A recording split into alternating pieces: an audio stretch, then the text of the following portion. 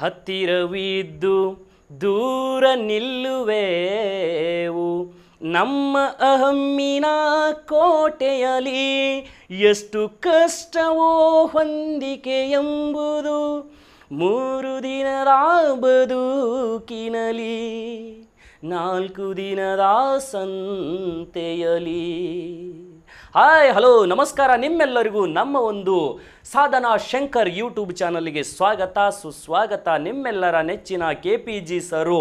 ನಿಮಗೋಸ್ಕರವಾಗಿ ಬಿಜಾಪುರದಿಂದ ಐದು five star ಕ್ವಶನ್ಸ್ಗಳನ್ನು ಜಿ ಕೆ ಕ್ವಶನ್ಸ್ಗಳನ್ನು ಹೊತ್ತು ಬಂದಿದ್ದಾರೆ. ಹಾಗಾದರೆ ಯಾರು ನಮ್ಮ ಚಾನಲನ್ನು ಇನ್ನೂ ಸಬ್ಸ್ಕ್ರೈಬ್ ಆಗಿಲ್ವೋ, ಸಬ್ಸ್ಕ್ರೈಬ್ ಆಗಿರಿ. ಪಕ್ಕದಲ್ಲಿರುವ ಬೆಲ್ ಬಟನ್ ಕ್ಲಿಕ್ ಮಾಡೋದ್ರ ಮೂಲಕ ಸದಾ ನೋಟಿಫೈ ಆಗಿರಿ. ನಮ್ಮ ವಿಡಿಯೋ ಡಿಸ್ಕ್ರಿಪ್ಷನ್ ಬಾಕ್ನಲ್ಲಿರುವಂಥ ಎಲ್ಲ ಲಿಂಕ್ಗಳನ್ನು ಬಳಸಿಕೊಳ್ಳಿ ಅಂತ ಹೇಳ್ತೀನಿ. ನಾನು ಮೊದಲ ಪ್ರಶ್ನೆಗೆ ಹೊರಡ್ತೀನಿ. ನಿಮಗೆ ಗೊತ್ತಿರುವಂತೆ ನಮ್ಮ ಸುಂದರವಾದ ಅಖಂಡವಾದ ಭೂಮಿ ಹೇಗಿತ್ತು, ಹೇಗಿಲ್ಲ? ಹಾಗಾದರೆ ಸಪ್ತಖಂಡಗಳು ನಾವು ಏನು ಕರಿತಾ ಇದ್ದೀವಲ್ಲ? ಉತ್ತರ ಅಮೇರಿಕಾ, ದಕ್ಷಿಣ ಅಮೇರಿಕಾ, ಯುರೋಪ್ ಖಂಡ, ಆಫ್ರಿಕಾ ಖಂಡ, ಏಷ್ಯಾ ಖಂಡ, ಆಸ್ಟ್ರೇಲಿಯಾ ಖಂಡ ಅಂಟಾರ್ಟಿಕಾ ಖಂಡ, ಎಲ್ಲ ಸುಂದರವಾದ ಖಂಡಗಳು ಮೊದಲಿಗೂ ಕೂಡ ಹೀಗೆ ಇದ್ವಾ, ಖಂಡಿತ ಇರಲಿಲ್ಲ. ಅದಕ್ಕಾಗಿಯೇ ಈ ಪ್ರಶ್ನೆ, ಪ್ರಪಂಚದ ಮೊದಲ ಅಖಂಡ ಭೂಖಂಡ ಮತ್ತು ನೀರಿನ ಭೂಭಾಗವನ್ನು ಏನೆಂದು ಕರೆಯುತ್ತಿದ್ದೆವು ಅಂತೇಳಂದ್ರೆ ಪ್ಯಾಂತಲಸ್ಸ ಮತ್ತು ಪ್ಯಾಂಜಿಯಾ ಅಂತ ಕರಿತಾ ಇದ್ವಿ. ಹಾಗಾದರೆ ಹೇಗಿತ್ತು ಅಖಂಡವಾಗಿ ಅಂತ ಕೇಳಿದ್ರೆ? ಈ ರೀತಿ ಅಖಂಡವಾಗಿದ್ದಿತ್ತು. ಇದರ ಸುತ್ತಲೇ ಇರುವಂತಹ ನೀರನ್ನೇ ನಾವು ಏನಂತ ಕರಿತಾ ಇದ್ವಿ ಅಂತೇಳಂದ್ರೆ, ಇವತ್ತು ಕರೆಯುವಂತಹ ಪೆಸಿಫಿಕ್ ಸಾಗರನೂ ಅಲ್ಲ ಅಂಟಾರ್ಟಿಕಾನೂ ಅಲ್ಲ, ಹಿಂದೂ ಮಹಾಸಾಗರನೂ ಅಲ್ಲ ಸದರನ್ ಓಷನ್ನೂ ಅಲ್ಲ ಆರ್ಟಿಕ್ ಓಷನ್ನೂ ಅಲ್ಲ. ಹಾಗಾದರೆ ಅಖಂಡವಾಗಿದ್ದಂತಹ ಭೂಪ್ರದೇಶದ ಸುತ್ತಲೂ ಇರುವ ನೀರು ಕೇವಲ ಒಂದೇ ಒಂದು ಸಾಗರವಾಗಿತ್ತು. ಅದನ್ನೇ ಪ್ಯಾಂತಲಸ್ಸ ಅಂತ ಕರಿತಾ ಇದ್ವಿ. ಪ್ಯಾಂತಲಸ್ಸ. ಹಾಗಾದರೆ ಈ ಪ್ಯಾಂಥಲಸ್ಸ ಡಿವೈಡ್ ಆಯಿತು, ನಂತರದಲ್ಲಿ ಡಿವೈಡ್ ಆಗಿ ಏನಾಯಿತು ಅಂತ ಕೇಳಿದ್ರೆ ಇವತ್ತಿನ ಸುಂದರವಾದ ಈ ಪ್ರಪಂಚ ನಿರ್ಮಾಣವಾಯಿತು. ಇಲ್ಲಿ ಪೆಸಿಫಿಕ್ಕು, ಅಂಟಾರ್ಟಿಕಾ, ಹಿಂದೂ ಮಹಾಸಾಗರ ಸದರನ್ ಓಷಿಯನ್ನು, ಆರ್ಟಿಕ್ ಓಷಿಯನ್ಗಳು ನಿರ್ಮಾಣ ಆದವು. ಹಾಗಾದರೆ ಈ ಓಷಿಯನ್ಗಳು ಹೆಂಗೆ ನಿರ್ಮಾಣ ಆದವು ಅಂತೇಳಂದ್ರೆ, ಇಲ್ಲಿದೆ ನೋಡಿ ನನ್ನ ಆತ್ಮೀಯರೇ. ಹಾಗಾದರೆ ನನ್ನ ಭಾರತ ದೇಶದ ಭೂಖಂಡ ಇದೇ ರೀತಿಯಾಗಿ ಚಲಾವಣೆಯನ್ನು ಹೊಂದಿ ಬಂದು ಇವತ್ತಿನ ಸ್ಥಾನವನ್ನು ತಲುಪಿರ್ತಕ್ಕಂಥದ್ದು ಭಾರತ ದೇಶದ ಭೂಖಂಡ. ಯಾವ ರೀತಿಯಾಗಿ ಚಲಾವಣೆಯನ್ನು ಹೊಂದುತ್ತಾ ಬಂತು ಅಂದ್ರೆ ಇದೇ ರೀತಿಯಾಗಿ ಚಲಾವಣೆ ಹೊಂದುತ್ತಾ ಬಂತು. ಇವತ್ತಿನ ನಾವು ನೋಡುತ್ತಿರುವ ಈ ಸುಂದರವಾದ ಪ್ರಪಂಚ ನಿರ್ಮಾಣಗೊಂಡಿದ್ದು ಸುಮಾರು ಪ್ಯಾಂಜಿಯಾ ಅಂತ ನಾನೇನು ಹೇಳಿದನಲ್ಲ ಅಖಂಡವಾಗಿದ್ದ ಭೂಖಂಡ. ಈ ಪ್ಯಾಂಜಿಯಾ ಹಲವಾರು ದಶಕಗಳು ಕಳೆದಂತೆ ಪ್ಲೇಟ್ಗಳು ಏನಾಗ್ತಾ ಇತ್ತು, ಟೆಕ್ಟಾನಿಕ್ ಆಗಲಿಕತ್ತಿತ್ತು, ಭೂಖಂಡಗಳು ಚಲಾವಣೆಯನ್ನು ಹೊಂದುತ್ತಾ ಇದ್ವು. ಈ ಭೂಖಂಡಗಳ ಚಲಾವಣೆಯ ಫಲಿತಾಂಶನೇ ಏನಪ್ಪ ಅಂದ್ರೆ ಇಂತಹವಾದ ಸುಂದರವಾದ ಪ್ರಪಂಚದ ನಿರ್ಮಾಣ. ಹಾಗಾದರೆ ಇದೇ ಸಪ್ತಖಂಡಗಳು ಹೇಗೆ ಉಗಮಗೊಂಡವು ಅನ್ನೋದ್ರ ಮೇಲೇ ಐ ಎ ಎಸ್ಗೆ ಮತ್ತು ಕೆ ಎಸ್ಗೆ ಮೇನ್ಸ್ ಪ್ರಶ್ನೆಗಳು ಬರ್ತಾವೆ. ನಿಮ್ಮ ಅಭಿಪ್ರಾಯದ ಮೇರೆಗೆ ಈ ನಾನು ತೆಗೆದುಕೊಂಡಿರುವ ಐದು ಪ್ರಶ್ನೆಗಳು ಒಂದೊಂದು ದಿನದ ಪ್ರಶ್ನೆಗಳಿವು ಒಂದೊಂದು ಸುಮಾರು ಒಂದೊಂದು ಗಂಟೆಯ ಪ್ರಶ್ನೆಗಳದಾವ. ಅವುಗಳನ್ನು ನಿಮ್ಮ ಅಭಿಪ್ರಾಯದ ಮೇರೆಗೆ ಎಕ್ಸ್ಪ್ಲೇನ್ ಮಾಡು ಅಂತೇಳಂದರೆ ನಾನು ಖಂಡಿತ ನಿಮಗೆ ಸರ್ವರ್ ಮಾಡಿಕೊಡ್ತೀನಿ. ಹಾಗಾದರೆ ನೆಕ್ಸ್ಟ್ ಕ್ವಶನ್ ಏನು ಅಂದ್ರೆ ಭಾರತ ನಿರ್ಮಾಣಗೊಂಡಿದ್ದು ಯಾವ ಅವಧಿಯಲ್ಲಿ? ಹೌದಾ? ಭಾರತ ನಿರ್ಮಾಣಗೊಂಡಿದ್ದು ಯಾವ ಅವಧಿಯಲ್ಲಿ? ಈ ಪ್ರಶ್ನೆಗೆ ಬಹಳ ಅದ್ಭುತವಾದಂಥದ್ದು ಮುನ್ನೂರ ಐವತ್ತು ದಶಲಕ್ಷ ವರ್ಷಗಳ ಹಿಂದೆ ನೂರ ಮೂವತ್ತೈದು ಎಪ್ಪತ್ತೊಂದು, ಹತ್ತು ದಶಲಕ್ಷ ವರ್ಷಗಳ ಹಿಂದೆ ಯಾವಾಗ ನಿರ್ಮಾಣ ಆಯಿತು? ಹಾಗಾದರೆ ಭಾರತ ದೇಶ ನಿರ್ಮಾಣಗೊಂಡಿದ್ದು ಅಖಂಡವಾಗಿದ್ದಂತಹ ಆ ಒಂದು ಪ್ಯಾಂಜಿಯಾ ಭೂಪ್ರದೇಶದಲ್ಲಿ ಅಖಂಡವಾಗಿದ್ದಂತಹ ಭೂಪ್ರದೇಶ ಏನಾಯಿತು? ಒಡೆದು ಎರಡು ಭಾಗಗೊಂಡ ನಂತರದಿಂದ ಸೊ ವಿಶೇಷವಾದಂತಹ ಎಲ್ಲ ಸುಂದರವಾದ ನನ್ನ ಭಾರತ ದೇಶನೂ ಕೂಡ ಆ ಒಂದು ಅವಧಿಯಲ್ಲಿ ಡಿವೈಡ್ ಆಯಿತು. ಈ ಡಿವೈಡ್ ಆದಂಥ ಭಾರತದ ಭೂಖಂಡ ಸುಮಾರು ಎಪ್ಪತ್ತು ಒಂದು ದಶಲಕ್ಷ ವರ್ಷಗಳ ಹಿಂದೆ ಆಫ್ರಿಕಾ ಖಂಡದಿಂದ ಡಿವೈಡ್ ಆಯಿತು. ಮಡ್ಗಾಸ್ಕರ್ ರಾಷ್ಟ್ರ ಇವತ್ತು ಕಾಣ್ತಾ ಇದ್ದೀವಲ್ಲ? ಆ ರಾಷ್ಟ್ರದಲ್ಲಿ ಇದ್ದಂಥ ಭಾರತದ ಭೂಖಂಡ ಎಪ್ಪತ್ತೊಂದು ದಶಲಕ್ಷ ವರ್ಷಗಳ ಹಿಂದೆ ಡಿವೈಡ್ ಆಗಿ ಸುಮಾರು ನನ್ನ ಭಾರತ ದೇಶ ಹತ್ತು ದಶಕಗಳು ಕಳೆದಂತೆ ಮೂವತ್ತೆಂಟು ದಶಲಕ್ಷ ವರ್ಷಗಳ ಹಿಂದೆ, ಐವತ್ತೈದು, ಮೂವತ್ತೆಂಟು, ಹತ್ತು ದಶಲಕ್ಷ ವರ್ಷಗಳ ಹಿಂದೆ ನನ್ನ ಭಾರತ ದೇಶ ಇವತ್ತಿನ ಒಂದು ಏಷ್ಯಾ ಖಂಡವನ್ನು ತಲುಪಿ ನಿಂತಾದ. ಯಾಕೆ ತಲುಪಿ ನಿಂತಿತು, ಹೆಂಗೆ ತಲುಪಿ ನಿಂತು, ಇದೆಲ್ಲ ಏನಪ್ಪ ಅಂದ್ರೆ ಐ ಎಸ್ ಮೇನ್ಸಿಗೆ, ಕೆ ಎಸ್ ಮೇನ್ಸಿಗೆ ಬರುವಂಥ ಪ್ರಶ್ನೆ ಇದು. ಇದು ನೀವು ಎಕ್ಸ್ಪ್ಲೇನ್ ಮಾಡು ಅಂತೇಳಿದ್ರೆ ನಾನು ಮಾಡ್ತೀನಿ. ಖಂಡಿತ ನಿಮ್ಮ ಕಮೆಂಟ್ ಮಾಡಿರಿ, ನಾನು ನೋಡಿ ಅದನ್ನು ಎಕ್ಸ್ಪ್ಲೇನ್ ಮಾಡೋದಕ್ಕೆ ಸಿದ್ಧ ಆಗ್ತೀನಿ. ಹಾಗಾದ್ರೆ ಇದೇ ಭಾರತ ದೇಶ, ಭಾರತದ ಭೂಖಂಡ ಇಲ್ಲಿಯಿಂದ ಏನಪ್ಪ ಅಂತೇಳಿದ್ರೆ ಟೆಕ್ಟಾನಿಕ್ ಆಗ್ತಾ ಆಗ್ತಾ ಆಗ್ತಾ ಆಗ್ತಾ ಇವತ್ತು ಈ ಒಂದು ಪ್ರದೇಶವನ್ನು ತಲುಪಿಬಿಡ್ತು. ಸರ್, ಹಾಗಾದ್ರೆ ಅಖಂಡವಾಗಿದ್ದ ಭೂಪ್ರದೇಶವನ್ನು ಒಡೆದು ಡಿವೈಡ್ ಆದಾಗ ಅಲ್ಲಿ ಮಧ್ಯದಲ್ಲಿ ಭೂಪ್ರದೇಶದ ಮಧ್ಯದಲ್ಲಿ ನೀರು ಬರುತ್ತಲ್ವಾ? ಆ ನೀರಿನ ಭೂಭಾಗವನ್ನು ಏನಂತ ಕರಿತಾ ಇದ್ರು? ಈ ಅಖಂಡವಾದ ಭೂಖಂಡ ಒಡೆದು ಎರಡು ಭಾಗವಾಗಿದ್ದನ್ನು ಏನಂತ ಕರಿತಾ ಇದ್ವಿ? ಎಸ್ ಇದನ್ನು ಲಾರೇಶಿಯಾ ಪ್ಲೇಟು, ಇದನ್ನು ಗೊಂಡವಾನ ಪ್ಲೇಟು ಅಂತ ಕರಿತಾ ಇದ್ವಿ. ಸರ್ ಅಥವಾ ಲಾರೇಶಿಯಾ ಅಥವಾ ಅಂಗಾರ ಅಂತಲೂ ಕೂಡ ಇದನ್ನು ಕರಿತಾ ಇದ್ವಿ. ಅಂಗಾರ. ಇದು ಗೊಂಡವಾನ, ಅದು ಅಂಗಾರ. ಹಾಗಾದರೆ ಸರ್ ಇದಕ್ಕೆ ನಾವು ಗೊಂಡವಾನ ಎಂದು ಕರೆಯಲು ಕಾರಣವೇನು? ಆಫ್ರಿಕಾ ಖಂಡವನ್ನು ಕಗ್ಗತ್ತಲೆಯ ಖಂಡ ಅಂತೀವಿ. ಆದರೆ ಜೀವಿಗಳ ಉಗಮನೆ ಮೂಲನೇ ಆಫ್ರಿಕಾ ಖಂಡ. ಹಾಗಾದರೆ ಈ ಆಫ್ರಿಕಾ ಖಂಡದಿಂದ ಡಿವೈಡ್ ಆಗಿರುವ ನನ್ನ ಭಾರತ ದೇಶದ ಭೂಭಾಗನೇ ಅದು ಗೊಂಡವಾನ ಭೂಭಾಗವಾಗಿತ್ತು.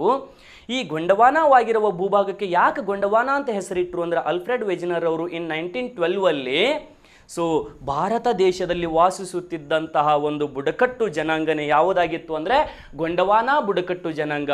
ಇದೇ ಗೊಂಡವಾನ ಬುಡಕಟ್ಟು ಜನಾಂಗ ಅಂದಿನ ಅವಧಿಗೆ ಸಾಕ್ಷಿಯಾಗಿತ್ತು ನನ್ನ ಭಾರತ ದೇಶ.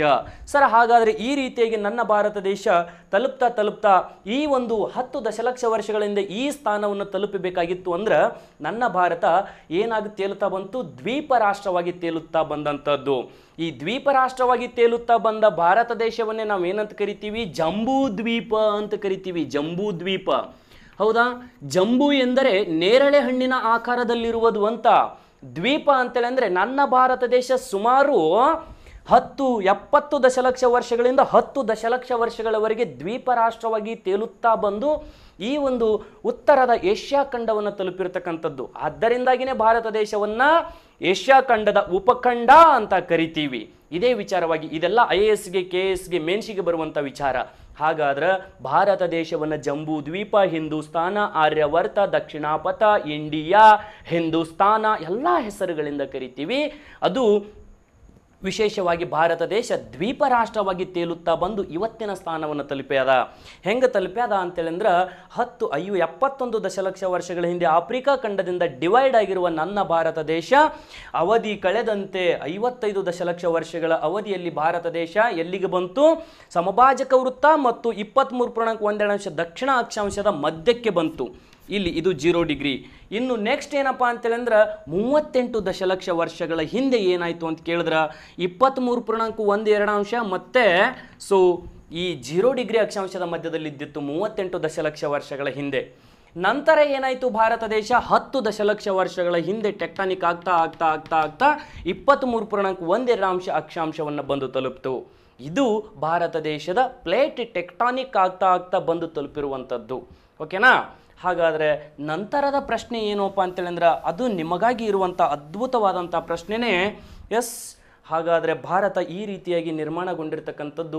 ಇನ್ನು ಸರ್, ಹಿಮಾಲಯ ಭಾರತ ಏನೋ ನಿರ್ಮಾಣ ಆಯಿತು. ಇನ್ನು ಹಿಮಾಲಯ ನಿರ್ಮಾಣ ಮಾಡಬೇಕಲ್ಲ, ಹಿಮಾಲಯ ಹೇಗೆ ನಿರ್ಮಾಣ ಆಯಿತು?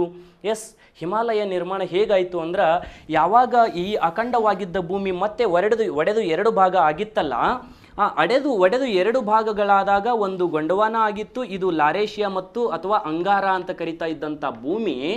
ಈ ಅಂಗಾರ ಅನ್ಸರ್ ಯಾಕೆ ಕರೆದ್ರು? ಗೊಂಡವಾನಕ್ಕೇನು ಭಾರತ ದೇಶದಲ್ಲಿ ಗೊಂಡವಾನ ಬುಡಕಟ್ಟು ಜನಾಂಗ ಇತ್ತು, ನಾವು ಅದನ್ನು ಗೊಂಡವಾನ ಅಂತ ಕರೆದ್ವಿ. ಈ ಅಂಗಾರ ಅಂತ ಯಾಕೆ ಕರಿಬೇಕಾಗಿತ್ತು? ಹೌದಲ್ವಾ?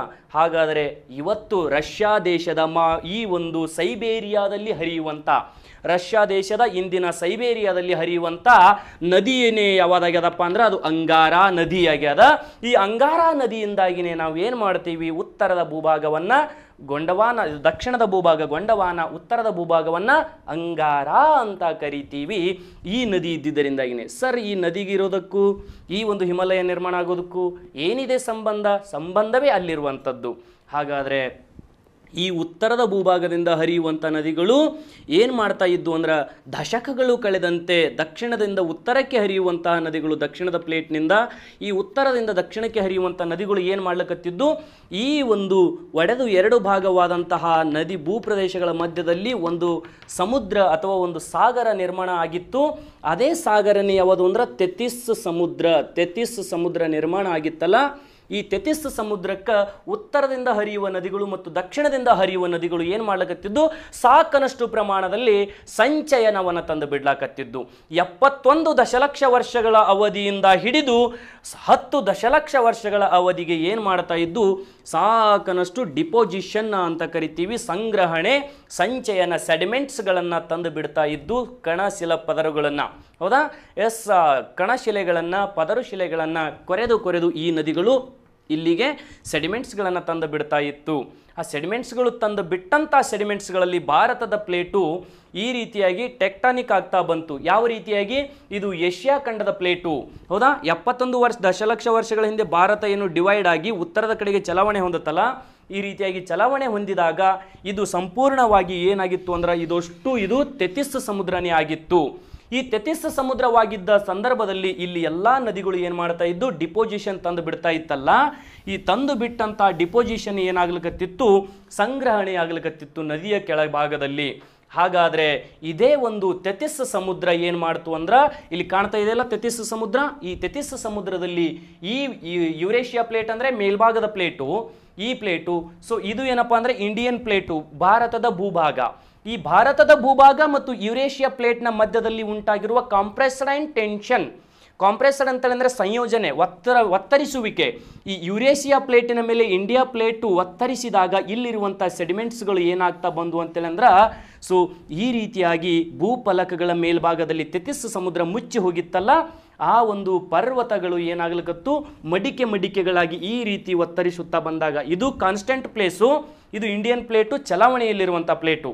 ಈ ಚಲಾವಣೆಯಲ್ಲಿದ್ದಂಥ ಪ್ಲೇಟು ಯಾವಾಗ ಈ ಒಂದು ಯುರೋಪ್ ಯುರೇಷಿಯನ್ ಪ್ಲೇಟ್ ಮೇಲೆ ಒತ್ತಡವನ್ನು ಹಾಕ್ತಲ್ಲ ಸೊ ಆವಾಗ ಮಡಿಕೆ ಮಡಿಕೆ ಬೀಳ್ತಾ ನಿರ್ಮಾಣ ಆಗ್ತಾ ಬಂತು. ಯಾವ ರೀತಿ ಅಂದ್ರೆ? ಇದು ಸಂಪೂರ್ಣವಾಗಿ ಸೆಡಿಮೆಂಟ್ಸ್ ಇದು. ಇದು ಭಾರತ ದೇಶದ ಭೂಖಂಡ. ಇದು ಏನಪ್ಪ ಅಂದ್ರೆ? ಏಷ್ಯಾ ಖಂಡದ ಭೂಖಂಡ. ಇದರ ಮೇಲೆ ಒತ್ತಡವನ್ನು ಹಾಕ್ತಾ ಬಂದಾಗ ಈ ರೀತಿಯಾಗಿ ಸೊ ಕೆಳಭಾಗದಲ್ಲಿನೂ ಈ ರೀತಿಯಾಗಿ. ಸುಮಾರು ನಮ್ಮ ಹಿಮಾಲಯದ ಬೇರು ಭೂಮಿಯ ಆಳಕ್ಕೆ ನಲವತ್ತರಿಂದ ಅರವತ್ತು ಕಿಲೋಮೀಟರ್ ಆಳದಲ್ಲಿದಾವ. ಹಾಗಾದರೆ ಭೂಮಿನೂ ಮೇಲ್ಮೈ ಮೇಲೇನೂ ಅಷ್ಟೇ ಒತ್ತಡ ಬಂದಿದ್ದರಿಂದಾಗಿಯೇ ಏನಾಗ್ಯದ? ನನ್ನ ಭಾರತ ದೇಶದಲ್ಲಿ ಉತ್ತರದ ಭೂಭಾಗಕ್ಕೆ ಹಿಮಾಲಯಗಳು ನಿರ್ಮಾಣ ಆಗ್ಯಾವ. ಇದೇ ಹಿಮಾಲಯಗಳು. ಹಾಗಾದರೆ ಸಿಂಧು ಸ್ಯಾಂಕ್ಪೋ ಸೂಚರ್ ವಲಯ ಅಂದ್ರೇನು? ಇದನ್ನು ಸಿಂಧೂ ನದಿ. ಸ್ಯಾಂಕ್ಪೋ ಅಂತೇಳಿದ್ರೆ ಬ್ರಹ್ಮಪುತ್ರ ನದಿಗಳು ತಂದು ಬಿಟ್ಟಂಥ ಸಂಚಯನ ಇದು. ಅದು ಎಲ್ಲಿ? ಯುರೇಷಿಯಾ ಪ್ಲೇಟ್ ಮತ್ತು ಇಂಡಿಯನ್ ಪ್ಲೇಟ್ಗಳ ಮಧ್ಯದಲ್ಲಿ. ಹಾಗಾದರೆ ಇವತ್ತು ನಾವೇನು ಕಾಣ್ತಾ ಇದ್ದೀವಿ ಸಿಂಧೂ ಗಂಗಾ ಬಯಲಿನ ಪ್ರದೇಶ ಮೈದಾನ. ಹೌದಾ? ಹಾಗಾದರೆ ಇದೇ ಮಡಿಕೆ ಪರ್ವತಗಳು ನಿರ್ಮಾಣಗೊಂಡಿದ್ದು ಹೀಗೆ. ಹಾಗಾದರೆ ನನ್ನ ಒಂದು ಭಾರತ ದೇಶದ ಹಿಮಾಲಯ ನಿರ್ಮಾಣಗೊಂಡಿರ್ತಕ್ಕಂಥದ್ದು ಯಾವ ಅವಧಿಯಲ್ಲಿ ಅಂತೇಳಿ ಅಂದ್ರೆ ಸುಮಾರು ಮಿಯೋಸಿನ್ ಅವಧಿ ಹತ್ತು ದಶಲಕ್ಷ ವರ್ಷಗಳ ಹಿಂದೆ ನಿರ್ಮಾಣಗೊಂಡಂಥದ್ದು. ಅರ್ಥ ಆಯ್ತಾ? ಹಾಗಾದರೆ ಭಾರತ ದೇಶದ ಹಿಮಾಲಯ ನಿರ್ಮಾಣಗೊಂಡಿದ್ದು ಯಾವ ಅವಧಿಯಲ್ಲಿ ಅಂತ ಕೇಳಿದ್ರೆ ಹತ್ತು ದಶಲಕ್ಷ ವರ್ಷಗಳ ಹಿಂದೆ ನಿರ್ಮಾಣಗೊಂಡಿತು ಇದೇ ಹತ್ತು ದಶಲಕ್ಷ ವರ್ಷಗಳ ಹಿಂದೆ ನಿರ್ಮಾಣಗೊಂಡಂಥ ಭಾರತ ದೇಶನೇ ಸುಂದರವಾಗಿ ನಾವು ಇವತ್ತು ಕಾಣುತ್ತಿರುವಂಥ ಭಾರತ ದೇಶ. ಇನ್ನು ಭಾರತದ ದಕ್ಕನ್ ಪ್ರಸ್ಥಭೂಮಿಯ ನಿರ್ಮಾಣಕ್ಕೆ ಕಾರಣ ಏನು?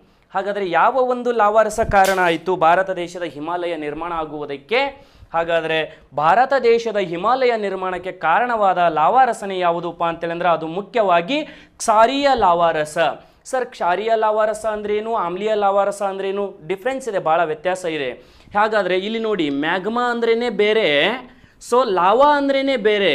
ಸೊ ಲಾವಾ ಯಾವಾಗ ಭೂಮಿಯ ಅರ್ಥಕ್ರಷ್ಟನ್ನು ಸೀಳಿಕೊಂಡು ಮೇಲ್ ಬರುತ್ತಲ್ಲ ಅದನ್ನು ಲಾವಾ ಅಂತೀವಿ. ಸೊ ಭೂಮಿಯ ಶಿಲಾಗೋಳದ ಕೆಳಭಾಗದಲ್ಲಿನೇ ಅದು ಅತಿ ಹೆಚ್ಚಿನ ಪ್ರಮಾಣದಲ್ಲಿ ಉಸ್, ಅಧಿಕ ಉಷ್ಣತೆಯಿಂದ ಕುದಿತಾ ಇರುವಂಥದ್ದನ್ನು ಮ್ಯಾಗ್ಮಾ ಅಂತ ಕರಿತೀವಿ. ಇದು ಯಾವಾಗ ಭೂಮಿಯನ್ನು ಸೀಳ್ಕೊಂಡು ಮೇಲ್ ಬರುತ್ತಲ್ಲ, ಅದು ಲಾವಾ. ಅದರಲ್ಲಿನೇ ಎರಡು ವಿಧಗಳು, ಒಂದು ಲಾವಾದಲ್ಲಿ ಆಮ್ಲಿಯ ಲಾವಾರಸ ಕ್ಷಾರಿಯ ಲಾವಾರಸ ಆಮ್ಲಿಯವನ್ನು ನಾವೇನಂತೀವಿ? Acidic lava. ಸೊ ಕ್ಷಾರಿಯ ಲಾವಾರಸವನ್ನು ನಾವೇನಂತೀವಿ? ಬೇಸಿಕ್ ಲಾವಾ ಅಂತ ಕರಿತೀವಿ. ಈ ಒಂದು ಎಸಿಡಿಕ್ ಮತ್ತು ಬೇಸಿಕ್ ಲಾವಾಗಳು ಮುಖ್ಯವಾದಂಥ ಎರಡು ರೀತಿಯಾದಂಥ ಎಸ್, ಭೂದೃಶ್ಯಗಳನ್ನು ನಿರ್ಮಾಣ ಮಾಡ್ತದ. ಅದೇ ಯಾವುದಪ್ಪ ಅಂದ್ರೆ ಈ ರೀತಿಯಾಗಿರ್ತಕ್ಕಂಥದ್ದು. ನೋಡ್ರಿ, ಇದು ವಿಶೇಷವಾಗಿ ಇದು ಕ್ಷಾರೀಯ ಲಾವಾರಸ ಇದು. ಕ್ಷಾರೀಯ ಲಾವಾರಸ ಇದು. ಹಾಗಾದರೆ ಇದು ಏನಪ್ಪಾ ಅಂತೇಳಿ ಅಂದರೆ ಆಮ್ಲೀಯ ಲಾವಾರಸ. ಈ ಆಮ್ಲೀಯ ಲಾವಾರಸ ಕ್ಷಾರೀಯ ಲಾವಾರಸದಲ್ಲಿ ಏನಾಗಿರ್ತದ? ಈ ಕ್ಷಾರೀಯ ಲಾವಾರಸದಲ್ಲಿ ಸೊ ಸಿಲ್ಕನ್ ಕಂಟೆಂಟು ಯಾವಾಗ ಈ ಲಾ, ಆಮ್ಲೀಯ ಲಾವಾರ, ಕ್ಷಾರೀಯ ಲಾವಾರಸದಲ್ಲಿ ಸಿಲ್ಕನ್ ಕಂಟೆಂಟು ಕಡಿಮೆ ಇರ್ತದ? ಶೇಕಡ ಐವತ್ತಕ್ಕಿಂತಲೂ ಸಿಲಿಕಾನ್ ರಾಸಾಯನಿಕ ಅಂಶ ಕಡಿಮೆ ಇದ್ರೆ ಅದು ಏನಾಗಿರ್ತದ? ಕ್ಷಾರೀಯ ಲಾವಾರಸ. ಅಧಿಕವಾದ ದ್ರವರೂಪದಲ್ಲಿರ್ತದೆ ಹೆಚ್ಚಿನ ಉಷ್ಣತೆಯಿಂದ ಕೂಡಿದ್ದು ಬಹುದೂರದವರೆಗೆ ಹರಿದು ಹೋಗುವ ಶಕ್ತಿಯನ್ನು ಹೊಂದಿರ್ತದ. ಇನ್ನು ಆಮ್ಲೀಯ ಲಾವಾರಸದಲ್ಲಿ ಶೇಕಡ ಐವತ್ತಕ್ಕಿಂತಲೂ ಏನಾಗಿರ್ತದಪ್ಪ ಅಂದ್ರೆ ಸಿಲಿಕಾನ್ ರಾಸಾಯನಿಕ ಅಂಶ ಅಧಿಕವಾಗಿರ್ತದ. ಇದು ಬಹುದೂರದವರೆಗೆ ಜ್ವಾಲಾಮುಖಿ ಸಂಭವಿಸಿದ ಸ್ಥಳದಿಂದ ಬಹುದೂರದವರೆಗೆ ಹರಿದು ಹೋಗುವುದಿಲ್ಲ. ಇದೇ ರೀತಿಯಾಗಿ ತಂಪಾಗಿ ಬೇಗನೆ ಘನೀಕರಣಗೊಳ್ತದ. ಈ ರೀತಿಯಾಗಿ ತಂಪನೆ ಬೇಗನೆ ಘನೀಕರಣಗೊಳ್ಳೋದ್ರಿಂದಾಗಿನೇ ಸೊ ಹಿಮಾಲಯ ಅಷ್ಟೇ ಸಾರಿ ಎಂಥ ಪರ್ವತಗಳು ಅಂದ್ರೆ ಶಿವಾಲಿಕ ಬೆಟ್ಟಗಳು ಅಂತ ನಾವೇನು ಹೇಳ್ತೀವಿ? ನೆಕ್ಸ್ಟ್ ಅನ್ನಂದ್ರೆ ಅರಾವಳಿ ಬೆಟ್ಟಗಳು. ನಮ್ಮ ಉತ್ತರ ಕರ್ನಾಟಕ ರಾಜ್ಯದಲ್ಲಿರುವ ಸೊ ಉತ್ತರ ಕನ್ನಡ ಜಿಲ್ಲೆಯಲ್ಲಿರುವ ಯಾಣ ಅಂತ ಹೇಳ್ತೀವಲ್ಲ, ಅವೆಲ್ಲವೂ ಏನಪ್ಪ ಅಂದ್ರೆ ಬಹುದೂರದವರೆಗೆ ಹರಿದು ಹೋಗದೇನೆ ಆಮ್ಲೀಯ ಲಾವಾರಸದಿಂದ ನಿರ್ಮಾಣಗೊಂಡಿರ್ತಕ್ಕಂಥವುಗಳು. ಇನ್ನು ಈ ಕ್ಷಾರೀಯ ಲಾವಾರಸ ಏನು ಮಾಡ್ತದ? ಬಹುದೂರದವರೆಗೆ ಹರಿದು ಹೋಗ್ತದ. ಅತ್ಯಂತ ದ್ರವರೂಪದಲ್ಲಿರುವಂಥ ಲಾವಾರಸ ಇದು. ಆದ್ದರಿಂದ ಬಹುದೂರದವರೆಗೆ ಹರಿದು ಹೋಗಿ ಏನು ಮಾಡ್ತದ? ಸೊ ಇವತ್ತಿನ ಒಂದು ಭಾರತ ದೇಶದಲ್ಲಿರುವಂಥ ಡಕ್ಕನ್ ಪ್ರಸ್ಥಭೂಮಿ, ಡಕ್ಕನ್ ಪ್ಲ್ಯಾಟು ಅಂತ ಕರಿತೀವಲ್ಲ, ಇಲ್ಲಿಯವರೆಗೂ ಈ ಒಂದು ಡಕ್ಕನ್ ಪ್ಲ್ಯಾಟು ನಿರ್ಮಾಣಗೊಂಡಿರ್ತಕ್ಕಂಥದ್ದು. ಸೊ ಅದು ಏನಪ್ಪ ಅಂದ್ರೆ ಕ್ಷಾರೀಯ ಲಾವಾರಸದಿಂದ ಅಂತ ನಾವು ನೋಡ್ತೀವಿ. ಹಾಗಾದ್ರೆ ನೆಕ್ಸ್ಟ್ ಕ್ವಶನ್ ಏನದಪ್ಪ ಅಂದ್ರೆ ಸೊ ತಾರ ಮರುಭೂಮಿ ಎಂದರೆ ಏನು? ಇದರ ನಿರ್ಮಾಣಕ್ಕೆ ಕಾರಣ ಏನು? ಇದರ ನಿರ್ಮಾಣ ಹೇಗಾಯಿತು? ಇದು ಕೇವಲ ಪಿ ಎಸ್ ಐ ಮತ್ತು ಎಫ್ ಡಿ ಎಗಳಿಗೆ ಬರುವಂಥ ಚಿಕ್ಕ ಪ್ರಶ್ನೆಗಳಿವು. ಇದನ್ನು ಯಾಕೆ ಸರ್ ನೀವು ಇಷ್ಟೇ ಚಿಕ್ಕದಾಗಿ ವಿವರಣೆ ಮಾಡಿದ್ದೀರಿ ಅಂತೇಳಂದ್ರೆ ಸೊ ಇದು ನಿಮಗೆ ಎಫ್ ಎಫ್ ಡಿ ಎಗೆ ಪಿ ಎಸ್ ಐಗೆ ಮೇನ್ಸ್ ಪ್ರಶ್ನೆಗೆ ಸೊ ಮೇನ್ ಆಗಿ ಬರುವಂಥ ಪ್ರಶ್ನೆಗಳು ಮುಖ್ಯವಾಗಿ. ಆದರೆ so K S I A S ಮಟ್ಟಕ್ಕೆ ನಾವು ಹೋದಾಗ ಇವುಗಳನ್ನೇ ಒಂದೊಂದು ಪ್ರಶ್ನೆಗಳು ಎರಡು ನೂರ ಐವತ್ತು ಶಬ್ದಗಳನ್ನು ಮೀರದಂತೆ ಬರೆಯಿರಿ ಅಂತ ಕೊಡ್ತಾನ. ನಿಮ್ಮ ಅಭಿಪ್ರಾಯದ ಮೇರೆಗೆ ಸೊ ನೀವು ಕಮೆಂಟ್ ಮಾಡಿದರೆ ನಾನು ಒಂದೊಂದೇ ಪ್ರಶ್ನೆಗಳನ್ನು ಒಂದೊಂದು ತಾಸಿನಷ್ಟು ವಿಡಿಯೋವನ್ನು ಮಾಡಿ ನಿಮಗೆ ಒದಗಿಸೋದಕ್ಕೆ ಸಿದ್ಧವಾಗಿದ್ದೀನಿ. ಹಾಗಾದರೆ ಎಷ್ಟು ಜನ ಸೊ ಈ ಪ್ರಶ್ನೆಗೆ ಉತ್ತರಿಸುತ್ತೀರಿ ಅಂತಕ್ಕಂಥದ್ದು. ನಾನು ಕೇಳ್ತಾ ಇರೋದೇನು ಅಂದರೆ ಥಾರ ಮರುಭೂಮಿ ಎಂದರೇನು ಮತ್ತು ಇದರ ನಿರ್ಮಾಣಕ್ಕೆ ಕಾರಣ ಏನು? ಕೇವಲ ನನಗೆ ಇನ್ನೂ ಒಂದು ವಿಷಯ ಗೊತ್ತಾಗಬೇಕು. ಸೊ ತಾರ ಮರುಭೂಮಿ ಅಂತಕ್ಕಂಥದ್ದು ಬೇರೆ, ಬರೀ ತಾರ್ ಎಂದರೆ ಏನು ಅಂತಕ್ಕಂಥ ಪ್ರಶ್ನೆನೇ ಬೇರೆ ಇದೆ. ಬರೀ ತಾರ್ ಅಂದರೆ ಏನು ಅಂತ ಪ್ರಶ್ನೆ ಮಾಡಿದರೆ, ಸೊ ತಾರ್ ಎಂದರೆ ಎಂಬ, ಕೇವಲ ತಾರ್ ಎಂದರೆ ಏನು ಎಂಬ ಪ್ರಶ್ನೆಗೆ ನೀವು ಕಮೆಂಟ್ ಮಾಡಿರಿ. ನಾನು ನಿಮಗೆ ಇಡ್ಡಿ ನಿಮ್ಮ ಒಂದು ಅಭಿಪ್ರಾಯದ ಮೇರೆಗೆ ಕೆ ಎಸ್ ಮತ್ತು ಐ ಎಸ್ ಮೇನ್ಸಿಗೆ ಬರುವಂತೆ ವಿಷಯವನ್ನು ಹೇಳಿಕೊಡೋದಕ್ಕೆ ನಾನು ಸಿದ್ಧವಾಗಿದ್ದೀನಿ ಅಂತ ಹೇಳ್ತಾ ಈ ದಿನದ ತರಗತಿಗೆ ಏನಪ್ಪ ಅಂದ್ರೆ ನಾನು ಮುಕ್ತಾಯವನ್ನು ಹೇಳ್ತಾ ಇದ್ದೀನಿ. ಸೊ ಇಲ್ಲಿಯವರೆಗೂ ನಮ್ಮ ಚಾನಲನ್ನು ಯಾರು ಸಬ್ಸ್ಕ್ರೈಬ್ ಆಗಿಲ್ವೋ ಸಬ್ಸ್ಕ್ರೈಬ್ ಆಗಿರಿ. ಪಕ್ಕದಲ್ಲಿರುವ ಬೆಲ್ ಬಟನನ್ನು ಕ್ಲಿಕ್ ಮಾಡೋದ್ರ ಮೂಲಕ ಸದಾ ನೋಟಿಫೈ ಆಗಿರಿ ಅಂತ ಹೇಳ್ತಾ ನಿಮ್ಮೆಲ್ಲರಿಗೂ ನಮಸ್ಕಾರ ರೀ ವಂದನೆಗಳು. ಭೇಟಿಯಾಗಣ್ರಿ ಮತ್ತೆ.